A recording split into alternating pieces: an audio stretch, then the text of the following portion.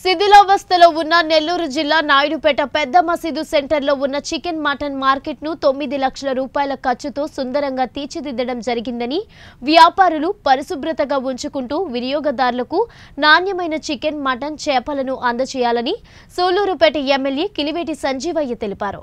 నాయుడుపేటలోని పెద్ద మసీదు వద్ద గల చికెన్ మటన్ చేపల మార్కెట్ ఎన్నో ఏళ్ళుగా శిథిలావస్థలో ఉంది. లాక్డౌన్ కారణంగా రెండు నెలల పాటు మార్కెట్ మూసివేయడంతో మున్సిపల్ కమిషనర్ చంద్రశేఖర్ రెడ్డి తొమ్మిది లక్షల రూపాయలతో ఆల్టరేషన్ చేసి సుందరంగా తీర్చిదిద్దడం జరిగింది.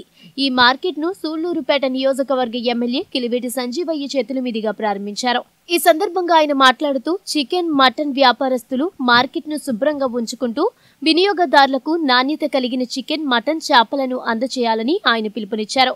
ఈ కార్యక్రమంలో వైసీపీ పట్టణ అధ్యక్షుడు seven eighty six Rafi Reddy తదితరులు పాల్గొన్నారు.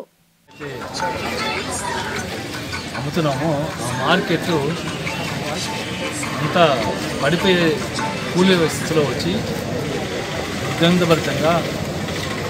ప్రజలకు కానీ అట వ్యాపారస్తులు కానీ ఇబ్బందికరంగా ఉంది మరి గత నెల రోజుల నుంచి ఇలా మూసేసి ఈ కోవిడ్ ఏదైతే రెండు నెలల నుంచి కోవిడ్ ఉందో ఈ సమయంలో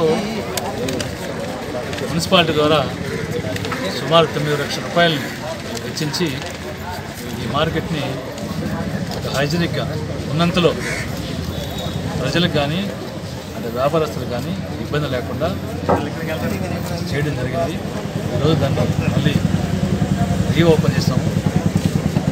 రేపటి నుంచి అంటే ఈ కోవిడ్ వల్ల ఈ చికెన్ మార్కెట్ క్లోజ్ చేశారో ఓపెన్ చేశారో చూసి ఎప్పుడైతే దీనికి పర్మిషన్ ఇస్తామో ఆ రోజు నుంచి ఇక్కడ గతంలో ఎవరైతే ఇక్కడ ఉన్నారో వాళ్ళకే ఇస్తున్నాము అది. వాళ్ళకే ఈ షాపులు ఇవ్వడం జరుగుతుంది వాళ్ళు కూడా బాధ్యతగా ప్రవర్తించాలి ఇక్కడ. క్లీనింగ్. ఇక్కడ అందరికీ అనువుగా ఉండే విధంగా శుభ్రంగా హైజీనిక్గా ఉండాలనే ఉద్దేశంతో అంతా చేసినప్పుడు మీరు కూడా మీ పరిసర ప్రాంతాలని శుభ్రంగా ఉంచుకుంటూ వచ్చే ప్రజలకి ఇబ్బంది లేకుండా చేయాలని వ్యాపార వర్గాలందరూ కూడా కోరుకుంటూ